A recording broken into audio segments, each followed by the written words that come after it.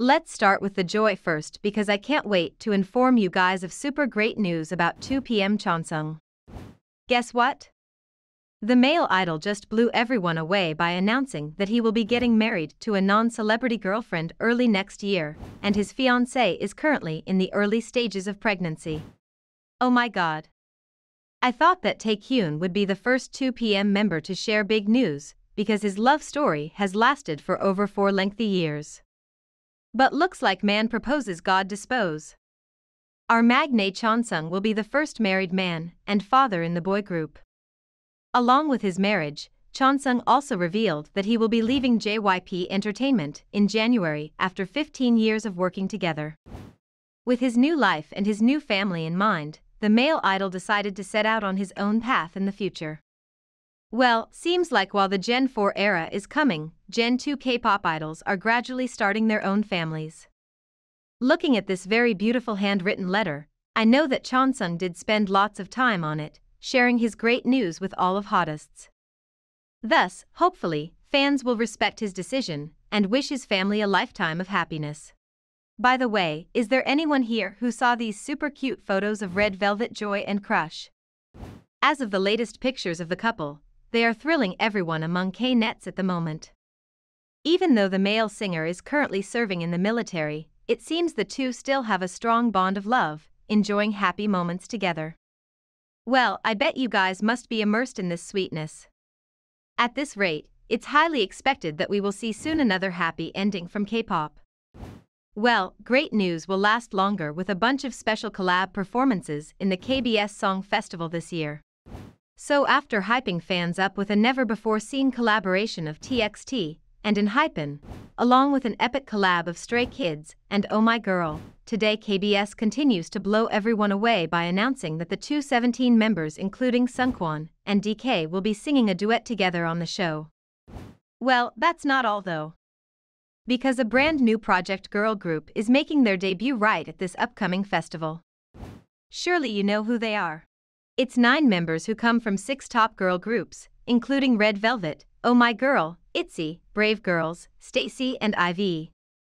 This visual girl group will be covering the smash hit Way to Go by SNSD, sending out messages of cheers to fans around the world.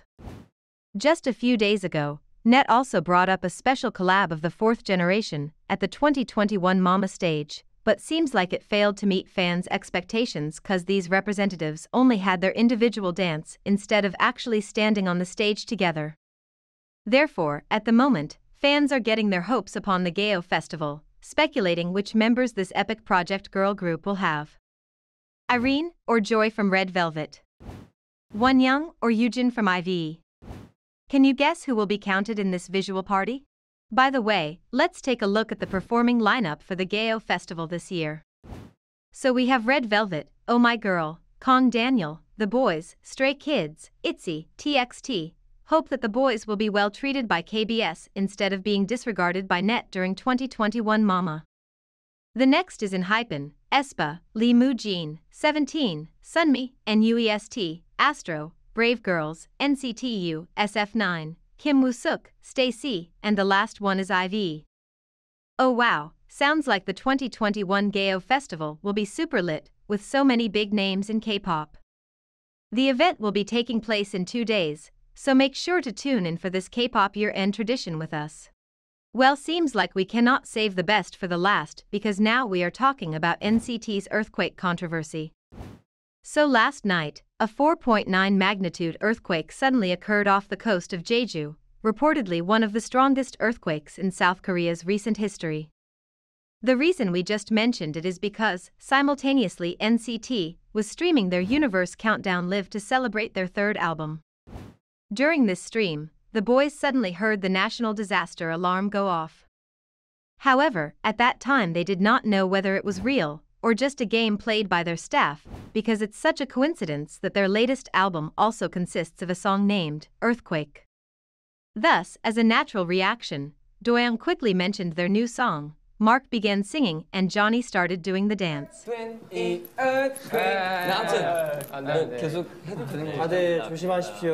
Their actions were broadcast through the live stream, which immediately led to a great discontent among K-nets. Many netizens got riled up, criticizing them for having immature and insensitive behavior.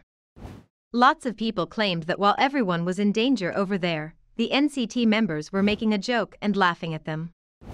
It seems the boys were quickly aware of the real earthquake and how seriously their actions would cause.